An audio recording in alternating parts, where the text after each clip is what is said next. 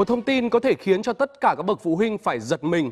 Trong một đoạn video vừa được một phụ huynh ở Nam Định ghi lại và đăng tải lên trên mạng, chiếc mũ len mà con chị đang đội có chứa một thiết bị lạ. Sau một thời gian đội mũ, cháu bé có biểu hiện ù tai, đau đầu. Vậy, thiết bị bí ẩn này là gì? Cứ to bé à, Dương, âm dương Made in China này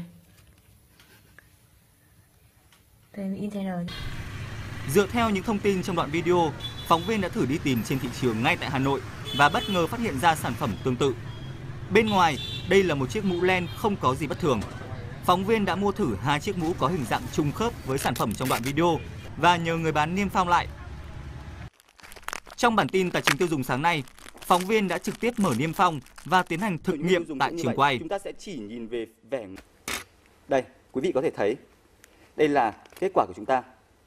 Ngay bên trong chiếc Ngay bên này. trong cái Vâng. tai nghe này thì có một thiết bị như thế này. Chúng ta sẽ thử mở hộp này ra xem. Dạ vâng. Hôm nay có dễ dàng mở không ạ? Chị có thể thấy là nó rất là giống với đoạn trong đoạn video clip mà người tiêu dùng đã đăng lên. Chúng ta có thể thử ấn xem nó có phát ra tiếng kêu gì Chúng không? ta sẽ thử ấn xem. Ừ. Và khi tác động vào thiết bị này thì không hề có một dấu hiệu là phát ra âm thanh, ánh sáng hay là ừ, dùng để sưởi ấm chẳng hạn. Quý vị khán giả có thể thấy là từ bên trong ra bên ngoài thì không hề có một dấu hiệu gì, không hề có một dây nối ra bên ngoài, không hề có một công tắc để kích hoạt. Thưa quý vị, trên tay tôi đang là chiếc mũ len vừa được phóng viên thử nghiệm. Sau một khoảng thời gian tác động nhiều lần vào chiếc mũ thì chúng tôi phát hiện là thiết bị này phát ra những âm thanh rất là khó chịu như quý vị có thể đang nghe thấy.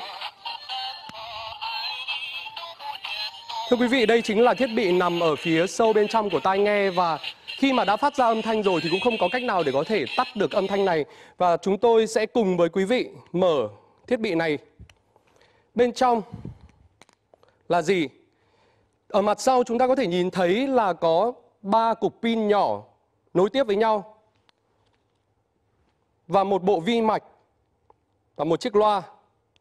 Và thiết bị này được kích hoạt khi ấn một công tắc bấm thì phát ra một tiếng kêu. Tất nhiên đối với thiết bị mà phóng viên Minh Long vừa thể hiện trong à, phóng sự của quý vị có nghĩa rằng là không phải thiết bị nào cũng hoạt động giống như thế này.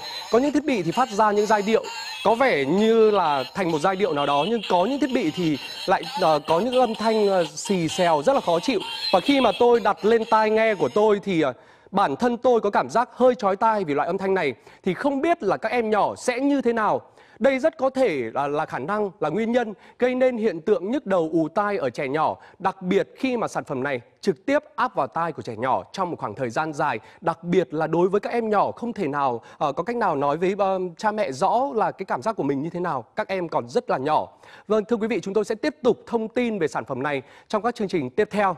Còn ngay sau đây sẽ là những tin tức trong nước đáng chú ý khác chúng tôi vừa cập nhật.